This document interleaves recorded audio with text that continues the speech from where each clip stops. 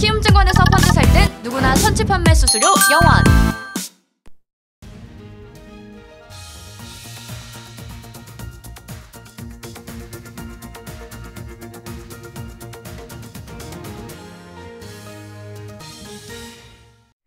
자, 내일 장에 다음 주 장에 투자 전략 알아보도록 하죠. 그러니까 연구님 지금 보면은 기업들이 지금 막 실적 발표를 하는데 모르겠대요. 이 신종 바이러스와 관련된 부분 이거 어떻게 영향을 어떻게 미치게 그러니까 아직까지는 우리가 확답할 수 없다. 그리고 대체적으로 지금은 알 수 없다. 그러니까 좀 더 봐야 된다라고 얘기하니까 소위 말해서 여러분들이 말씀하신 데 불확실성입니다. 어, 그렇기 때문에 증시에서도 좀 어떻게 해야 되나 그럴 때 오히려 한 발 물러서자 이렇게 보고 계신 것 같은데요. 다음 주에 체크해야 될 사항들 한번 좀 점검을 해주세요. 예. 우선 이제 시장에 관심이 되는 건 아무래도 그 신종 코로나 바이러스 관련 이제 확산 속도 등에 대한 그 소식들일 텐데요. 아무래도 이제 현재와 같은 좀 그 기조가 이어진다면 아무래도 다음 주까지는 좀 그 폐렴 확대에 대한 이슈로 시장이 좀 조정이 예상되는 것은 사실입니다.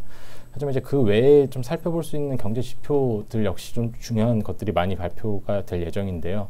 일단 이제 1월 한국 수출에 대한 그 데이터가 발표가 될 것이고 그리고 이제 중국과 미국의 제조업 체감 경기에 대한 이제 ISM 제조업 지표 그리고 금요일 날에는 이제 미국의 고용 보고서 등 이제 굵직한 좀 경제 지표들이 예정이 되어 있습니다. 먼저 이제 국내 수출 같은 경우는 어, 시장 현, 컨센서스가 현재는 이제 1월 수출 증가율이 전년 동월과 대비해서 마이너스 8.1%를 보일 것으로 예상이 되고 있고 이는 이제 지난해 12월 의 수출 증가율이었던 마이너스 5.2%와 비교해서 좀 더 감소폭이 확대되는 모습입니다. 아무래도 이는 이제 설 연휴에 따른 이제 통관 일수가 좀 감소했고 한 영향 때문이라고 좀 판단이 되는데요.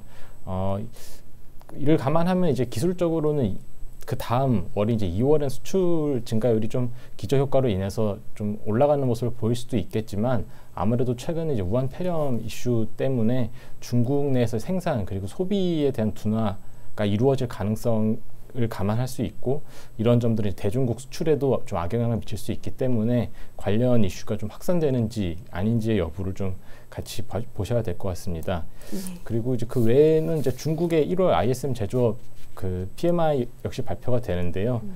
어, 최근 이제 중국의 제조업 체감 경기가 지난달 수준에서 어, 크게 벗어나지 않으면 좀 개선세가 주춤해질 것이라고 좀 전망이 되고 있었습니다. 어, 다만 이제 앞서 언급한 또 그 우한 폐렴 이슈를 또 감안하면 이제 미중 무역 분쟁이 좀 완화가 되면서 중국의 좀 심리 그리고 체감 지표들이 좀 개선하려는 모습을 보였는데요. 이, 이런 모습들이 다시 재차 좀 이제 하락할 가능성이 높아진 점 역시 투자 심리에는 다소 이제 우호적이지 않은 환경을 조성할 것으로 음. 판단이 됩니다.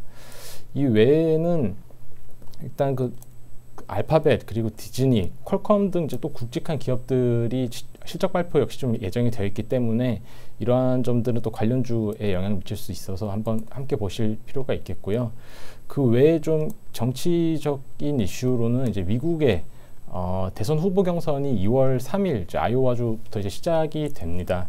어, 아무래도 이제 이번 경선을 시작으로 6월 초까지 경선이 진행되는데 이번 아이오와 경선이 좀 첫 번째라는 점에서 관련 이제 대선 민주당 대선 후보들의 정치 공약에 대해서 좀 시장에서 관심을 기울일 것으로 판단이 되기 때문에 이러한 점들 역시 좀 그 후보들이 어떠한 경제 정책에 대한 전망을 내놓는지 또 함께 좀 중요하게 보시면 좋을 것 같습니다. 네, 알겠습니다.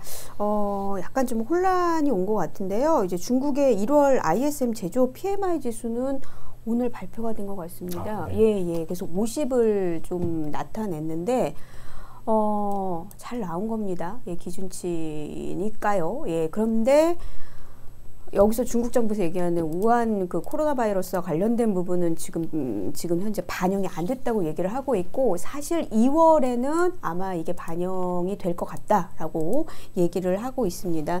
어, 지금 중국 정부 쪽에서는 기업들의 생산 재개를 아마 미룰 것이다. 그리고 지금 춘절 연휴가 좀 길어지고 있는 그런 상황이잖아요. 그렇게 되면 공장 가동 안 하게 되면은 아무래도 경기 역시 좀 크게 위축되지 않을까 좀 이렇게 얘기를 하고 있는 상황입니다. 요게 조금 불안감을 좀 키우지 않았을까 싶긴 한데 아마 여러분들 이 부분에 대해서는 다 예상을 하셨을 건데요. 어, 이렇게 좀 중국 통계국에서 나오면서 얘기를 좀 이런 얘기도 있었다는 거 말씀을 드리도록 하겠습니다. 이게 다음 주에 나오냐 안 나오냐 했는데 이게 중국 휴장이 되냐 이, 이, 안 되느냐 계속 여, 여, 어, 지금 어, 개작을 하냐 이런 얘기가 나오는 와중에 아마 그냥 낸 것 같아요. 어, 그래서 중국 통계국에서 일단 지표가 나왔다는 것을 말씀을 드리도록 하겠습니다. 중국은 일정대로 나오는 걸 거의 보지를 못해가지고 예 다시 한번 정리해드렸습니다. 자 마감 결과 살펴보도록 하죠. 어, 오늘 장 마감 결과 코스피는요 28.99 포인트. 와, 2160에서 0.6%장 고가가 2167이면 거의 1% 가까이 올랐다가 훅 내렸네요. 28.99포인트 하락, 2119.01로 움직임이 좀 나왔습니다. 오늘 역시 하락 종목 수가 어, 거의 뭐, 뭐 700개 정도, 그리고 현재 상승 종목 수가 160개 정도 나온 것으로 눈에 띄고 있고요. 코스닥도 계속해서 음, 종가까지 계속 차익 매물이 나왔던 것으로 보입니다. 13.9 포인트 정도 하락으로 642.48포인트로 오늘장을 마쳤습니다. 역시 하락 종목 수가 1000개가 넘는 그런 흐름 흐름이 나온 그런 상황입니다. 자, 그리고요. 지금 현재 보니까요. 어, 달러 대비 원 한 1190원 넘겼네요. 어, 요것도 많이 좀 눈에 띄고 있습니다. 1191원대로 환율 시장, 외환 시장이 좀 움직임 나온 그런 상황이고요. 현재 수급적인 상황에서는 일단 어, 외국인들의 매도가 4,200억 원 나왔고요. 글쎄 외국인들의 매물은 선물 쪽이나 이런 거 그렇게 예전에 처음 초창기 때보다는 그러니까 우한과 관련된 이슈가 나 초창기 때보다는 좀 많이 줄어들었는데 그래도 시장의 영향 은 매우 커졌습니다. 기관이 연기금을 중심으로 매수세가 어, 유지가 됐다는 점은 오늘 수급적인 부분에서는 큰 특징입니다. 그런데 1% 넘게 내렸네요. 코스피는 어쨌든요. 예.